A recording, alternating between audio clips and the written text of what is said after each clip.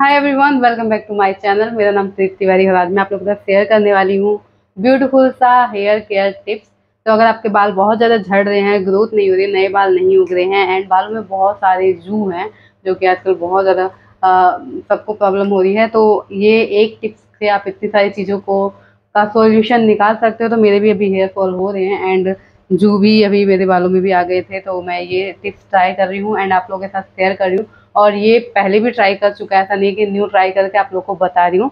पहले भी ट्राई कर चुका है हंड्रेड परसेंट बेनिफिशियल है बहुत सारे लोगों का इससे जू वगैरह खत्म हुआ है एंड हेयर ग्रोथ में। काफ़ी ज़्यादा हेल्प मिली है और जिनके बाल ब्लैक नहीं होते हैं आईब्रोज के बाल नहीं हैं तो आप उन पर भी प्याज का रस अप्लाई करके अपने बालों को घना बना सकते हो। uh, मेरे जो आईब्रो हैं बहुत ज़्यादा ही पतले थे एंड uh, जो लाइट कलर के थे बिल्कुल भी नहीं पता चलता था स्किन के कलर में ही दिखते थे तो मैंने इस पर प्याज का रसी ट्राई किया था। थोड़ी बहुत ग्रोथ आ गई है। एंड जो जू के लिए बेस्ट रहेगा तो प्याज लेना है रेड कलर वाला। ओके और इसको अच्छे से छील लेना है। यहाँ पे मैं इस तरीके से नीचे कर रही हूँ, ताकि आपको अच्छे से दिखाई दे। ओके तो प्याज को इस तरीके से कट कर रही हूँ। इसका छिलका उतार लेना है। और इसको आप एक बार ज़रूर ट्राई कीजिएगा। और फिर रिज़ल्ट मेरे साथ शेयर कीजिएगा आप। सिर्फ़ प्याज नहीं लगाना है और क्या क्या इसमें मिक्स करना है जिससे कि आपका हेयर फॉल भी कम होगा, जू खत्म तो होगी। मेडिकल शैम्पू जो होता है, वो हम लोग जू के लिए वो स्पेशली बना लेकिन वो आपकी स्कैल्प को बहुत ज़्यादा हार्म पहुँचाता है और जिससे आपके हेयर फॉल बहुत ज़्यादा बढ़ जाते हैं। मैंने भी वो ट्राई किया था तो मेरी बेटी के और मेरे दोनों जनों के बाल बहुत ज़्यादा झड़ने लग गए थे। तो इस तरीके से मैं इसको घिस ले रही हूँ। आप मिक्सर में भी पीस के इसका जूस निकाल सकते हो।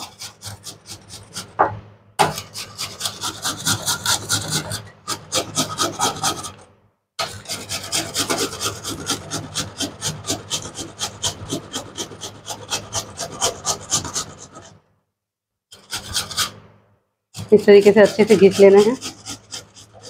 अभी मैं न्यू शिफ्ट हुई हूँ तो मेरे पास अभी कुछ कुछ सामान नहीं है, जैसे कि मिक्सर वगैरह नहीं है अभी। धीरे धीरे सारा सामान हो जाएगा तो इस तरीके से मैं ये कद्दूकस बोलते हैं इसको, इस पर ही प्याज का रस निकाल रही हूँ।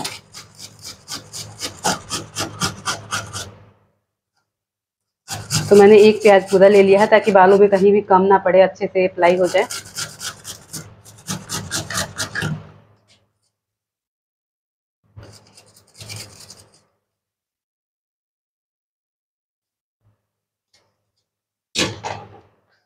ये मैंने निकाल लिया है एंड इसका प्याज को इस तरीके से हाथ पे ले लिया है।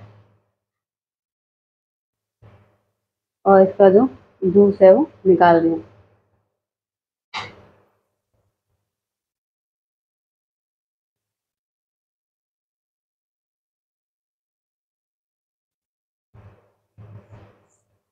तो अच्छे से मैंने प्याज का जूस यहाँ पे निकाल लिया है।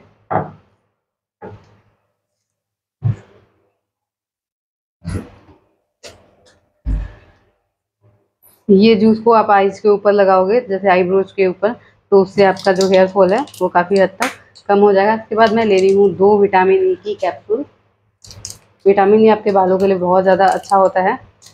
बालों के लिए, चेहरे के लिए भी। अगर आपके स्किन पे बहुत ज़्यादा डार्क स्पॉट्स है डार्कनेस है तो आप विटामिन आलू का रस निकाल के, आलू का जूस निकाल के पोटैटो उसमें विटामिन एक विटामिन ई की कैप्सूल मिक्स कर देनी है। थोड़ी सी शहद डालनी है और बेसन डाल के पैक बना के उसको अप्लाई करोगे तो आपकी स्किन का tanning and darkness dark spots वगैरह और जो रिंकल्स होती हैं, वो भी धीरे धीरे रिमूव हो जाएँगी। तो उसकी वीडियो नेक्स्ट टाइम बता दूँगी मैं। अभी मैं हेयर के लिए बता रही हूँ। तो बस मैंने प्याज में ये विटामिन ई की कैप्सूल ऐड की है।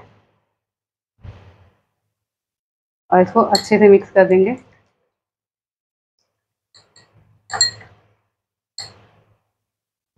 अब इसको बालों की जड़ों में अप्लाई करेंगे।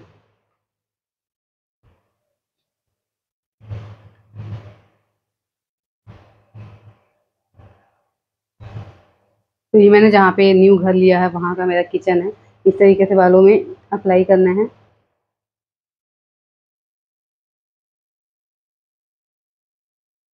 और इसको आपको बालों में दो से तीन घंटे तक आप रख सकते हो। इसमें आप आप चाहो तो जो आपको तेल सूट करता है, वो तेल लगा सकते हो। मैं यहाँ पे सरसों का तेल लगाती हूँ तो मैं सरसों का तेल ही मिक्स करती हूँ बट मैंने अभी कुछ मिक्स नहीं किया है। ऐसे भी अप्लाई कर सकते कर सकते हो अगर आपको तेल नहीं लगाना है तो।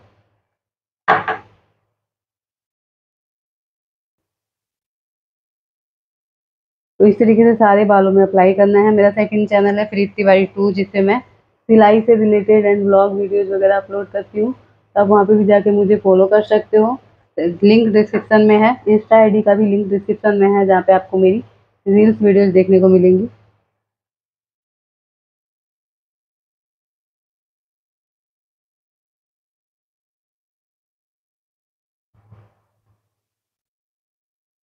अच्छे से पूरे जड़ों में अप्लाई करना है। हेयर ग्रोथ के साथ साथ आपकी सिर की डैंड्रफ और जो जू वगैरह हैं, वो भी अच्छे से रिमूव हो जाएँगी हेयर टिप्स की मदद से।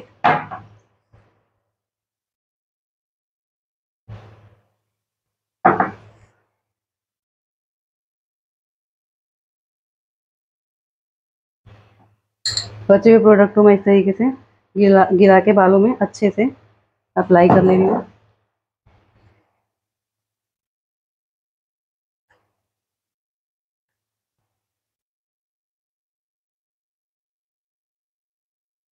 अच्छे से मसाज कर देना है।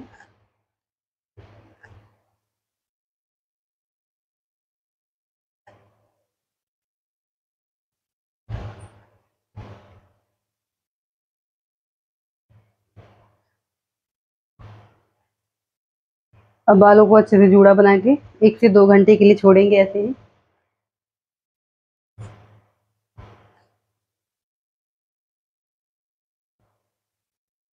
दो घंटे के बाद आपको इसको वॉश कर लेना है नॉर्मल शैम्पू एंड पानी से और आप धीरे धीरे जैसे जैसे इसको अप्लाई करोगे आपका जू तो एक से दो यूज़ में ही ख़त्म हो जाएगा और एक से दो हफ़्ते में मतलब तीन से चार यूज़ में आपका हेयर फॉल भी कंट्रोल हो जाएगा। तो आई होप कि आपको वीडियो पसंद आई हो और टिप्स कैसा लगा हेयर वॉश करने के बाद से मैं आपको इसका वीडियो शेयर करूँगी एंड फाइनल रिज़ल्ट भी बताऊँगी कि कैसा बालों का टेक्स्चर है स्मूथनेस है कि नहीं ड्राई हो रहा है या सही रह रहा है, सब कुछ क्लियर करने वाली तो वीडियो को एंड तक वॉच ज़रूर कीजिएगा सेकेंड चैनल पर ज़रूर जाइएगा।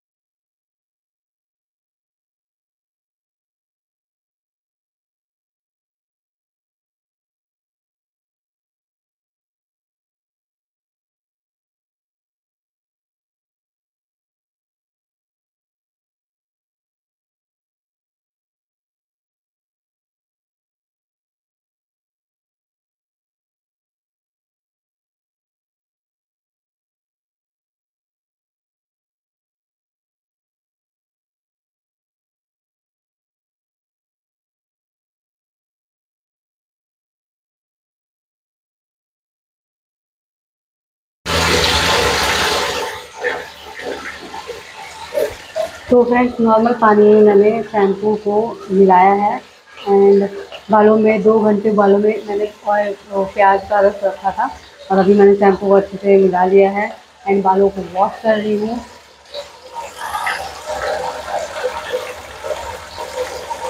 इस तरीके से थोड़ा थोड़ा सा शैम्पू डालना है बालों में।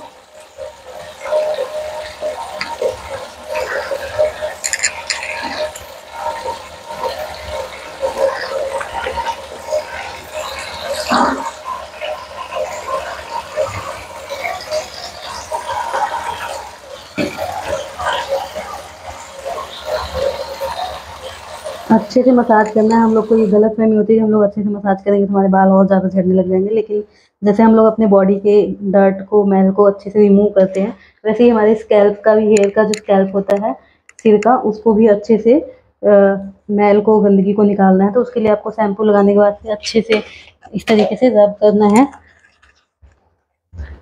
कोई भी शैम्पू लगा रहे हो जो आपको सूट करता है। मैंने यहाँ पे हेड एंड शोल्डर लिया है।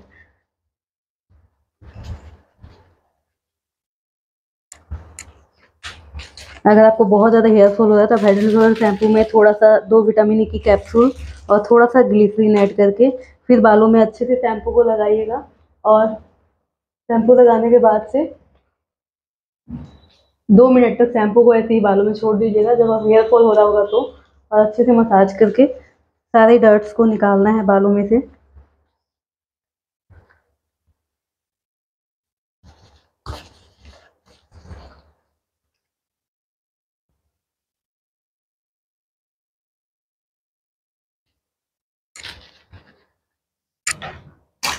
और अब अच्छे से वॉश कर लेंगे।